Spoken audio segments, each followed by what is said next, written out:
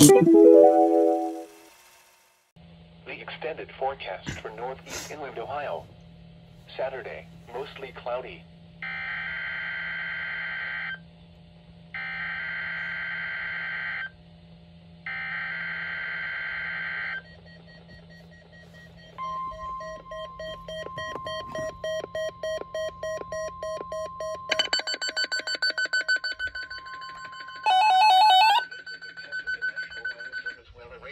Alarm for the KDO 94 listening area of northeast inland Ohio.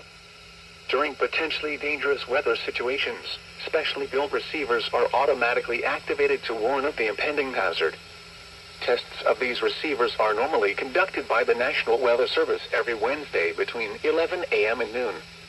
When there is a threat of or existing severe weather in the area, the test will be postponed until the following day.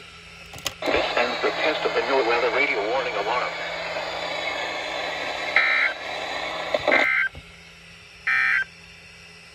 The current time is 11:21.